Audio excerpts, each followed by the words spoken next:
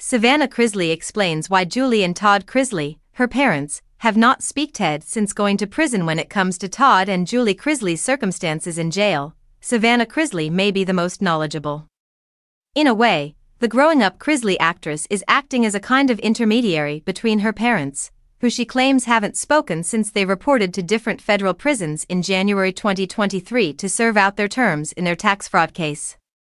Even though Julie, 51, and Todd, 54, may email, Savannah exclusively told Francesca Amiker V.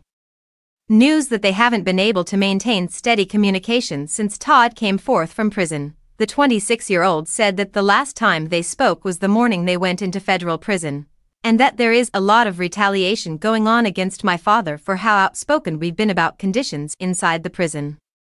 However, Savannah said that jail authorities had been blocking a lot of his emails correspondence to my mum.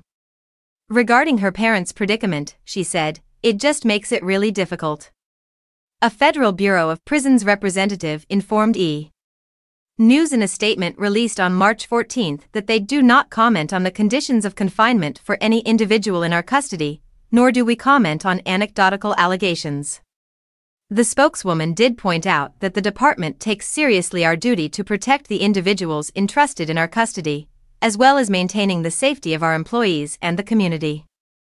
Our first goal is to treat the men and women in our care with compassion. E.